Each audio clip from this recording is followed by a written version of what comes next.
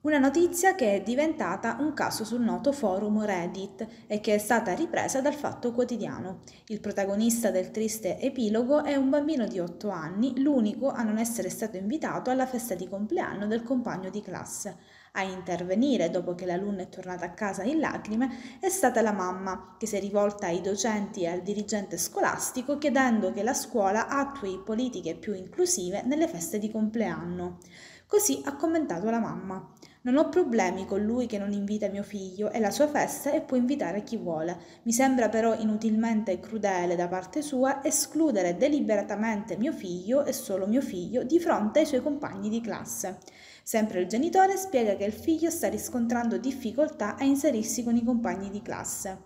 È intelligente e gentile, anche se un po' fuori dal comune, con il suo amore per i cavalli, le macchine a vapore e le vecchie registrazioni musicali.